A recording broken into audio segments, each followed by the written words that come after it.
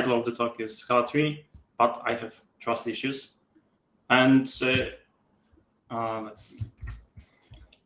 if you're still um, not sure which talk to attend, here are the topics uh, I will be talking about uh, briefly. Uh, uh, here are the topics I am actually competent to talk about. so if that helps. Um, yeah, so I already had an introduction, so here's a short slide about me. So I am uh, a Scala developer at VirtusLab. I am also a student at Chalmers, and yeah, I've contributed to Dotty, Inkuire, Scala Doc Magnolia, uh, some others. Yeah. Um, as you saw, uh, some of the topics I mentioned can be pretty elementary, I would say. So here's a problem you can solve if we get bored at any point. So we have uh, a list of names, then a list of pairs of names. Uh, I call it a friendship list, which means that person A is friends with person B, and we have a number k. And the goal here is to find a set uh, of k people, uh, if it exists, uh, such that none of them are friends with each other. And uh, every low polynomial is fine here. So um, n to the third uh, is is a good solution. Right. So I uh, really like um, seeing things uh, on actual examples when I learn about stuff. So we're gonna, going to need some example problem that we're going to solve. And I got inspired by this uh, tweet by, by, Max Howell. It was quite a long time ago, but uh, yeah, it says that uh, Google didn't want to hire him, uh, even though he created a software that's what most of the engineers used. So that's why our uh, problem will be inverting trees, binary trees. Well, not, not really this way, but maybe closer to this way. So uh, inverting tree isn't really uh, an advanced topic, but it is. Uh, it isn't also um, very well defined. So this is what we uh, want to do. So we want to have a, a mirror image of our tree, input tree. Right, so we can start by um, solving uh, the problem in Scala 3, obviously, is in the end a Scala conference. Uh, so right, uh, we need a model, and uh, it's no surprise we're using an enum here, uh, which is uh, in our case, representing an algebraic data type. We have um, sorry, uh, we have an empty list, uh, empty leaf.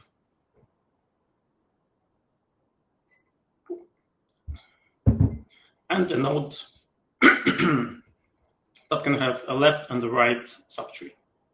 And we uh, always uh, contain ints uh, just to make things a bit simpler. Right. Um, so the solution is also pretty simple.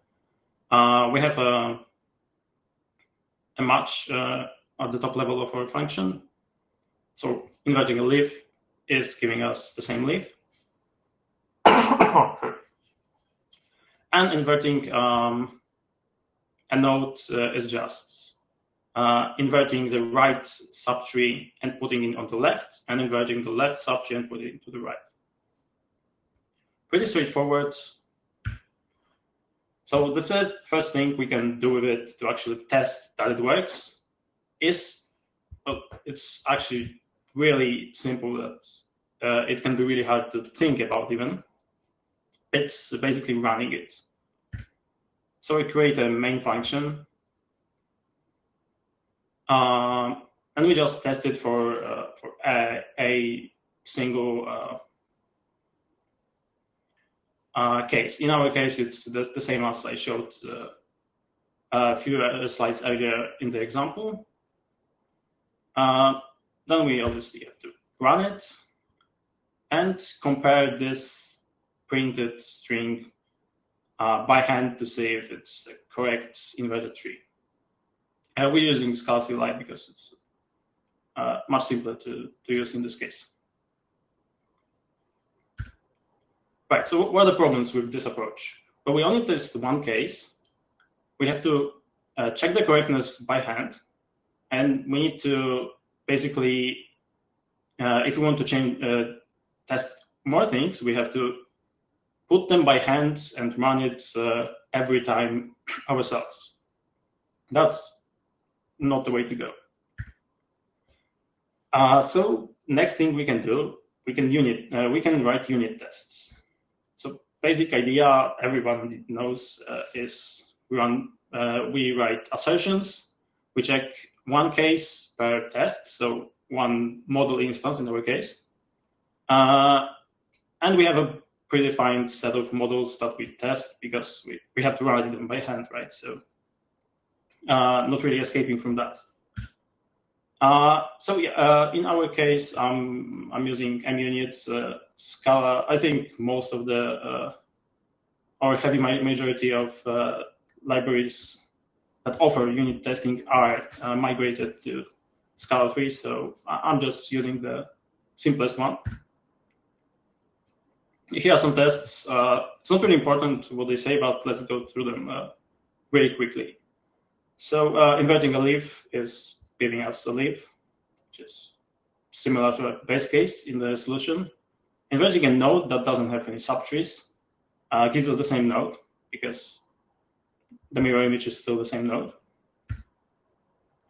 Next, we can check some bigger uh, trees. So uh, we have something that uh, has two levels, and that one actually uh, does something uh, other than identity function we can test an asymmetric tree, which is just a tree that has only a subtree on the right. And we have, can test some bigger example. Uh, yeah, uh, we obviously uh, run it as as before, uh, and, and it works. Great. So, uh, what are the problems here? Well, we have to uh, write every example that we want to test, we have to write ourselves. There's not really a way to generate that. Uh, it's also a lot of tedious work because, uh, well, it usually involves a lot of copying and pasting. And uh, the biggest uh, downside is that if we want to test the really big uh, cases, we it gets really complicated because, well, text editors aren't really supposed to represent tree structures. So uh, as we saw here, it's not that clear that it's a correct uh, tree, even in, this case, and we might want to test even bigger ones. Right, so uh, yeah, and obviously the last problem is that's not the only uh, function that satisfies uh, our uh, tests. This is this one also works and it's a bit cooler because it has longer source code, but it's not really what we wanted. Right. So the next uh, thing is uh, trying to trying to to, to generate uh, more of the cases so that we don't have to write them by hand so we use property tests, and uh, uh, the way we do this is uh, uh, we instead of testing a correct output to the specific input, we write properties that our function has to satisfy. Uh, and the cool thing here is that the model instances are generated by the framework. So we don't have to write every single case by hand. We can delegate that to some implementation of generators. Right. Uh, also, quite a big uh, selection of libraries here. Uh, I'm gonna gonna use uh, ScalaCheck because uh, yeah, I, I, just have most experience with that. Right. So uh, as I said, we have to we have to use some sort of generator to generate our um, tests. So this is how, how we do it. Uh, I don't really want to get into the uh, implementation that much, but we uh, we have a, sized uh, generator, which just gets an arbitrary size. Then we generate uh, a tree of that size. Uh, we, we use size because uh, uh, otherwise it can get too big and cause some stack overflows or stuff, stuff like that. So basically, we need a size to just have some boundary that we don't want to cross uh, when it comes to the depth of the tree. Uh, pretty straightforward. Right, so now we get to the more interesting part, which is writing the properties. And there, are many uh, strategies uh, we can use. Uh, I've chosen three uh, to go through for our example and see how, how it works. So the first one is hard to prove, easy to verify. And uh, the best example for it, uh, in my opinion, is uh, sorting. So we get an input uh, input uh, list, for example. We we have a sort function that we want to test, uh, and we get output, which is a sorted list. So the way we we write our property is we say that for every number in the list, the sorted list, the next one should be uh, higher or equal. So that's probably one of the best uh, properties that we can write because uh, maybe adding uh, one more, uh, we can we can be sure that our uh, that our code is actually working.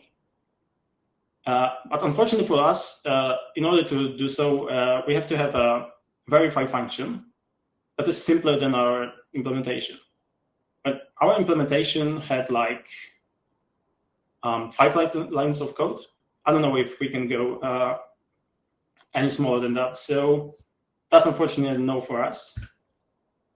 Uh, we had we have another um, type of property, which is there and back again. So the idea is we have uh, an input. We have an action A that we want to test, function in our case. So we say that, okay, if we do A on input, we get a result, then we can do reverse of A, and we still, uh, and we get back to the input. So the property will be really simple. Uh, the best example for this is serializing and deserializing. So if we serialize an input uh, to some format and then deserialize it, we should get the same thing as we uh, had in the beginning. Right. Uh, so we can use that. Uh, inverting a tree once gives us what we want, but inverting it twice actually gives us uh the same thing we, we had in the beginning because it's mirroring the, uh, the tree twice, right? So we write the property just says that for all trees, we invert it twice and we get the same thing as, uh, as in the beginning. And we use our uh, arbitrary instance to generate trees. But not as complicated. Uh, so last uh, type of property we're going to check. So uh, this one says uh, this one is different paths, same destination. and what it does, it simply says that, okay, if we do A and then B, then we get some result. But we want to have the property that if we do B and then A, it gives us uh, the same result. Well, we can't really do this because we only have one function, but we can do something similar. So we can say that if we invert a tree, for, so for, any, for any tree that we get, uh, if we add a root to it, only the, and add our tree to the right and add nothing to the left, and then invert it, is the same as having uh, adding a root and putting the inverted tree on the left. It's getting very close to the implementation, but for the purpose uh, of uh, our test, we can write a property like this. Right, uh, we run it again. Uh, it works runs uh, more than just five tests as we uh, did before. So what are the problems? well, we have to write the generators ourselves, and that's very tedious work.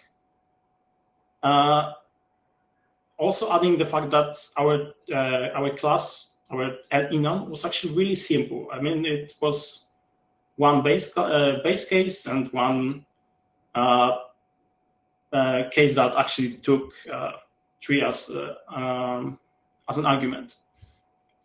yeah, and also we may be a stretch, but we run a finite number of tests. We run 100 by default in I think every props uh, property testing library, but we might do better.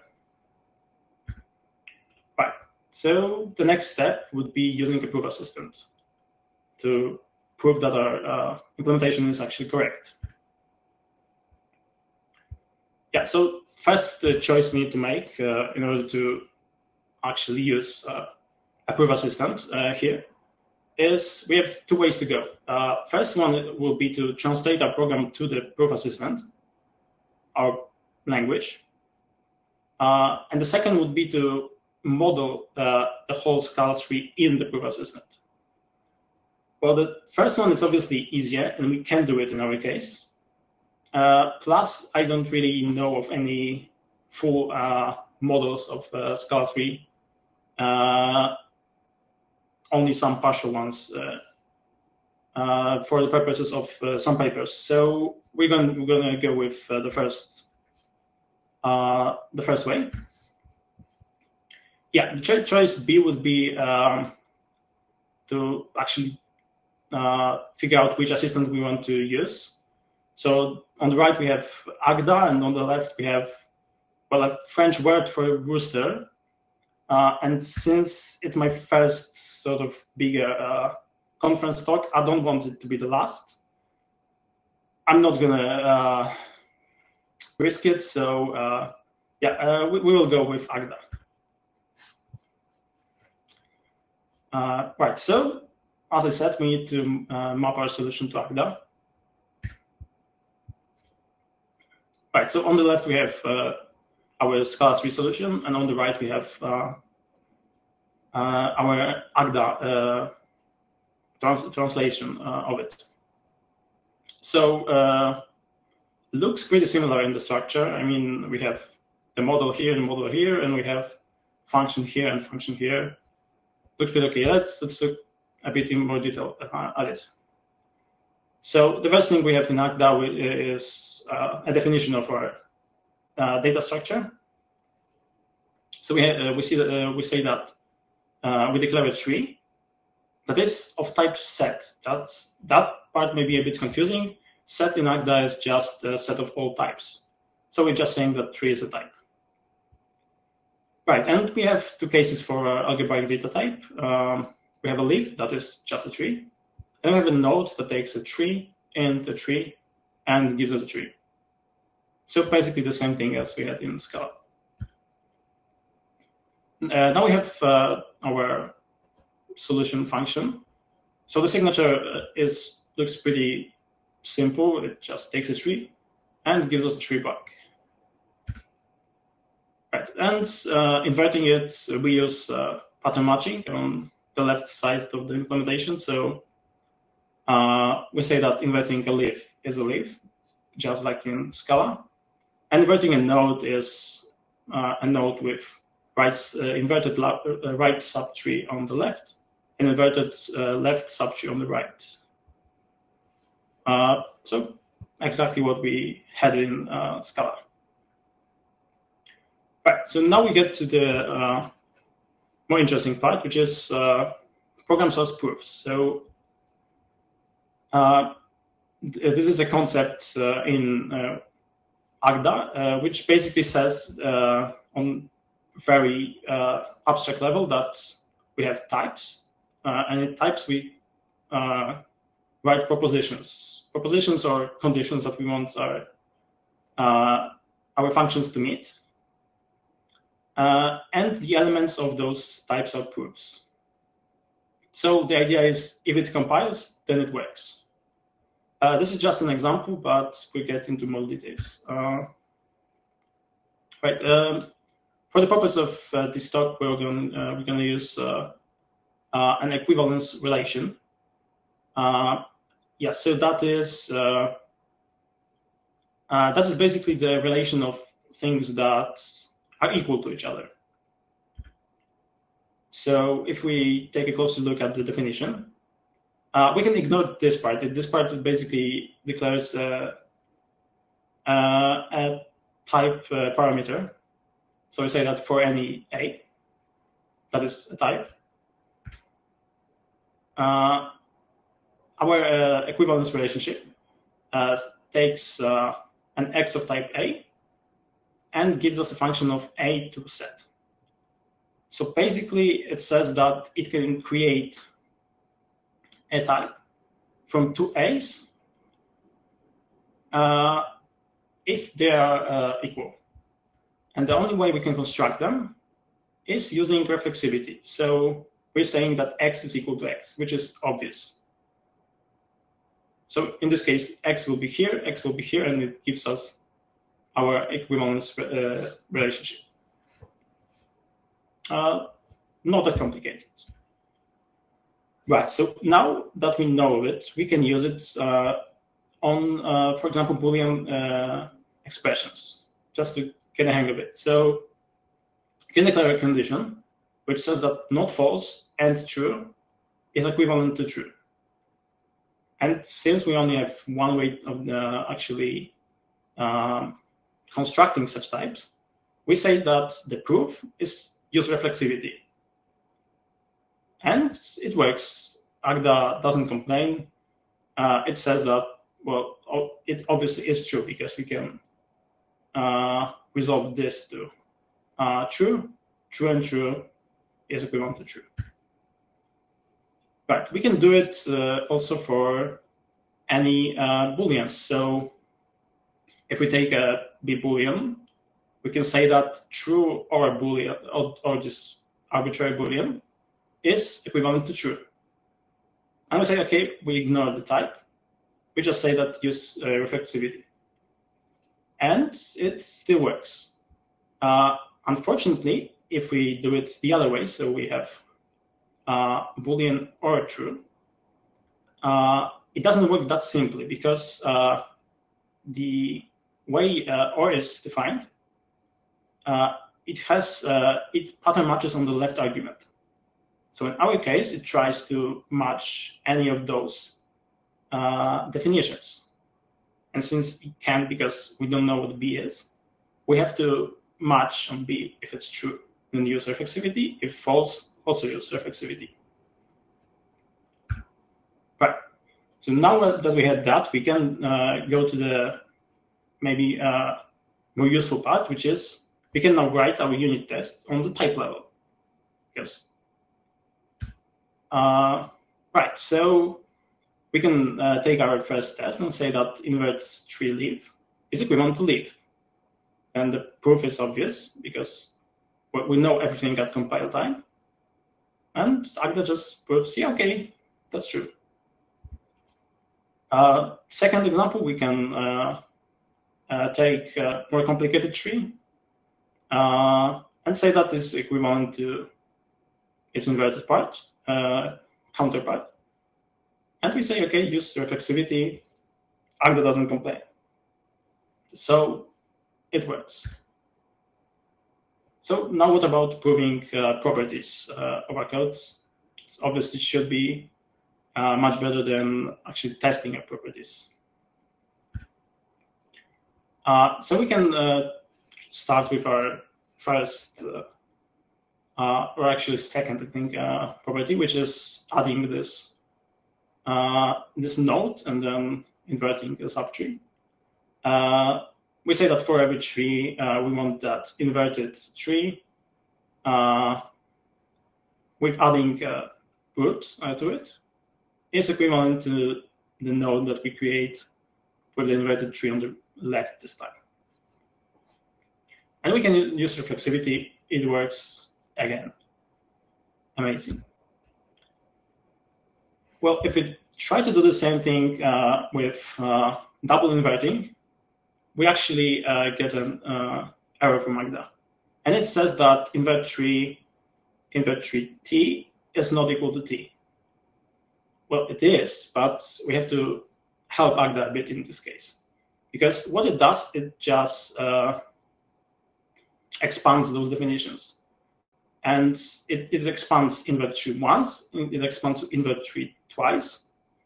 But from the definition, we get that uh, we still uh, we still have uh, some invert tree uh, uh, usages left in the arguments. Uh, that's why we have to help Agda a bit here. So we match on the leaf, and leaf is pretty straightforward. Uh, nothing surprising here. And uh, if we match on that node, uh, we have to use a congruence. So this is just a function that basically says if I have a proof that x equals y, and I have a proof that u equals uh, v, then I can apply those to a function, and they still uh, the result is still equal, and I get a proof for that. So in our case, we just say I double invert L, double invert R, and I just construct a node from it using the congruence. Cool. So are there any problems here? Well, we do actually need to know how to uh, translate the code, and we can't always do it. Uh, we have to um, think about that before we start uh, writing our code. Uh, well, and we have to trust Agda that it actually works correctly. Uh, to be fair, with, so uh, so do we with Dotty generating the right uh, bytecode. So now we can uh, get to the uh, last serious way of proving it, and that would be pen and paper proof. So what that, does our code actually mean? Well, this enum actually declares an algebraic data type. An algebraic data type is an inductive set in mathematics. So we can translate that. So we say that leaf is a tree, and we say that if we have uh, e and int, uh, l a tree, r a tree, then node l uh, er is uh, a tree. Nice. Uh, we can also translate the solution, which is much simpler.